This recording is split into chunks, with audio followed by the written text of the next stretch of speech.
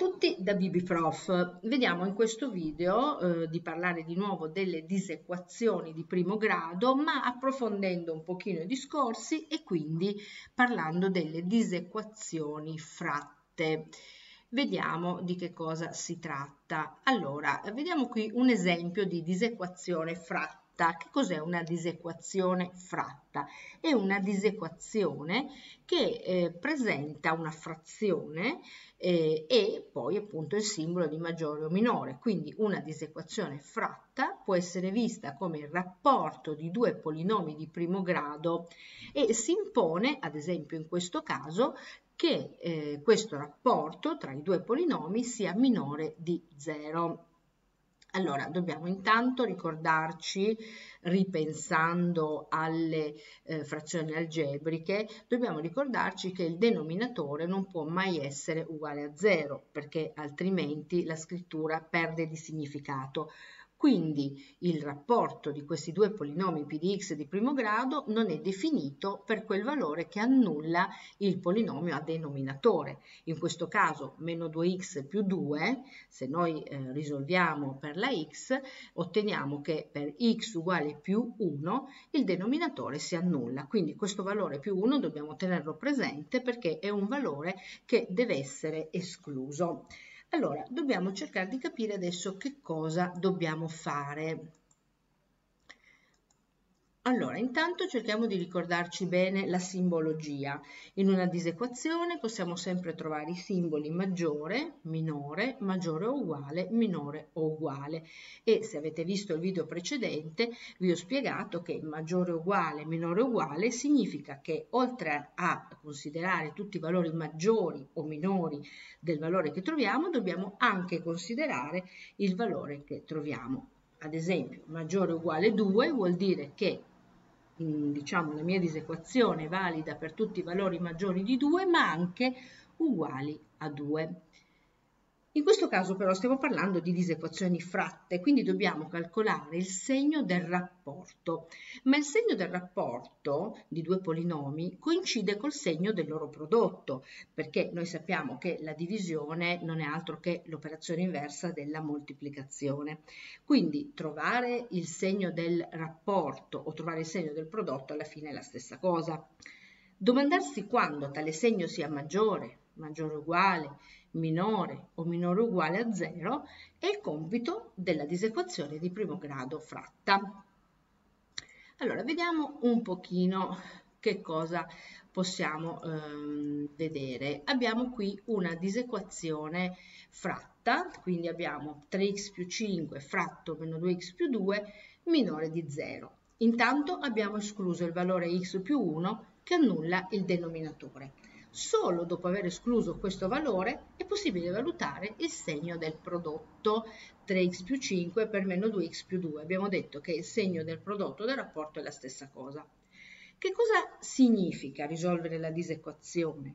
La nostra disequazione ci chiede di vedere se in quali intervalli il rapporto il prodotto risulti essere negativo, in questo caso negativo perché minore di 0, positivo se fosse maggiore di 0. Quindi la condizione necessaria affinché tale prodotto sia minore di 0 è che siano di segno opposto i due polinomi, numeratore e denominatore della disequazione, perché noi sappiamo che in algebra quando un, un, prodotto viene negativo, quando i segni sono diversi, più per meno fa meno, invece più per più fa più, quindi quando i segni sono uguali, meno per meno fa più, eh, la, eh, diciamo, il risultato è positivo e lo stesso, la stessa regola vale per quanto riguarda le disequazioni. Andiamo avanti e vediamo quindi, arriviamo proprio alla situazione. Cosa facciamo adesso? Studiamo il segno del numeratore e poi il segno del denominatore. Allora, vediamo quando il numeratore è maggiore di 0. Il numeratore è maggiore di 0, qui ho fatto i calcoli, per x maggiore di meno 5 terzi e quando il denominatore è maggiore di 0, qui ho dimenticato di scriverlo, maggiore di 0, quando x è minore di più 1. Allora avremo il numeratore maggiore di 0 per questo valore x maggiore di meno 5 terzi e il denominatore sarà maggiore di 0 per x minore di più 1. Allora, qui vi ho fatto una tabellina che è quella che si fa di solito quando si risolvono le disequazioni. Si prende in considerazione il numeratore, e si mettono i segni negativi o positivi, qualcuno mette dei puntini oppure la linea intera e si indica quando i valori sono negativi e quando i valori sono positivi. Qui abbiamo detto che x è maggiore eh, di 0 per x maggiore di meno 5 terzi, quindi avremo tutta questa zona che è maggiore di 0, mentre l'altra zona è minore. Per quanto riguarda il denominatore, avremo maggiore di 0 per x minore di più 1, quindi qui sarà maggiore di 0. Allora, quando il, diciamo, la composizione dei due mi darà segni positivi e negativi? Allora, nel primo intervallo, lo vado a mettere in bianco, quindi da meno infinito a meno 5 terzi, avrò i segni diversi, quindi qui avrò meno nella zona tra meno 5 terzi e più 1 vedete che abbiamo più e più, quindi segni uguali avrò più. Poi da più 1 a più infinito avrò di nuovo i segni diversi, quindi meno. Allora qual è il risultato di questa disequazione? Che cosa possiamo dire? Che tutta la disequazione che abbiamo considerato sarà minore di 0 per x minore di meno 5 terzi e per x maggiore di più 1. Ok?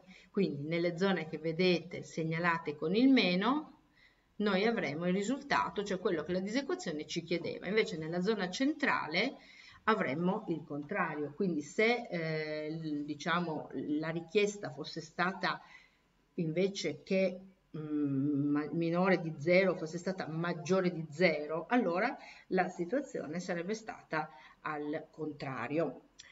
Quindi spero che abbiate capito questa cosa. Eh? Allora, ripeto, dobbiamo trovare i segni del numeratore, li scriviamo, quindi quando numeratore è maggiore di 0, quando numeratore è minore di 0, poi i segni del denominatore li scriviamo, quando il denominatore è maggiore di 0, quando il denominatore è minore di 0, poi si devono comporre le due situazioni e vedere quando i segni sono diversi allora viene meno, quando i segni sono uguali viene più, i segni sono diversi viene meno e trovo poi la risposta alla mia disequazione. Quindi tutta la mia disequazione sarà minore di 0 per i valori che abbiamo ottenuto qua. Ma vi faccio vedere ancora una cosa.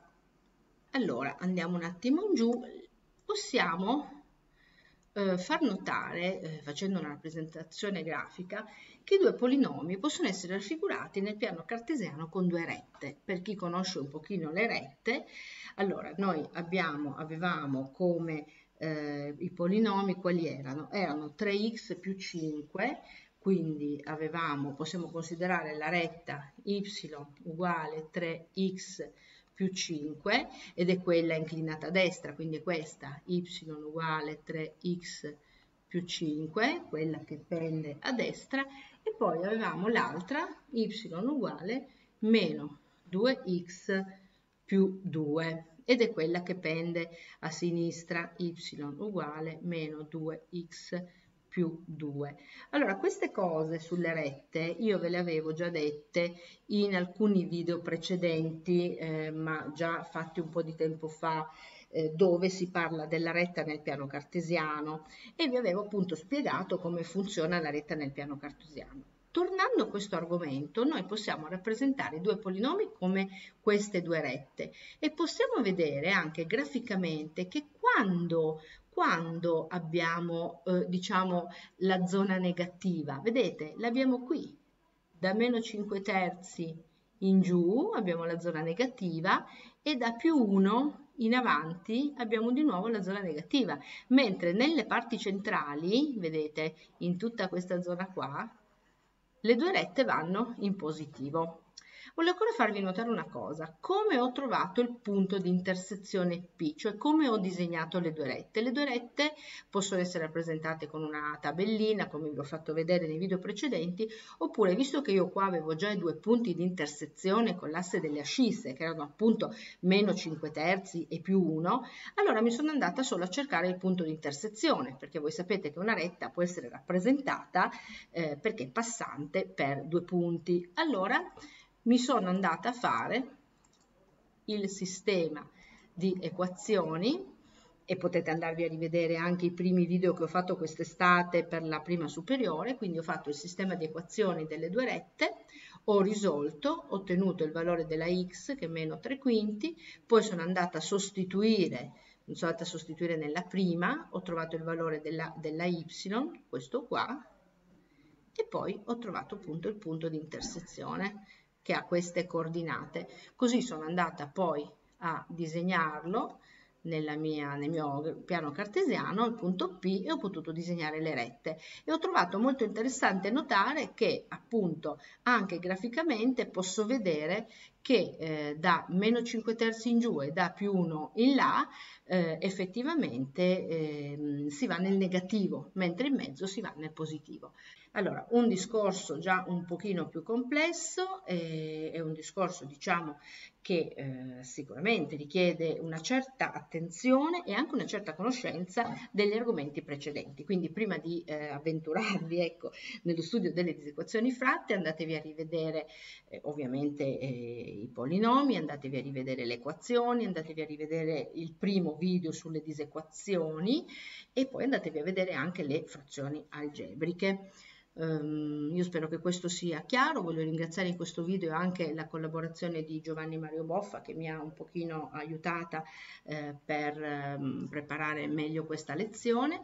E spero che anche in questo caso si possa dire che la matematica è facile ragazzi, dai questo eh, lo possiamo dire se ci impegniamo molto.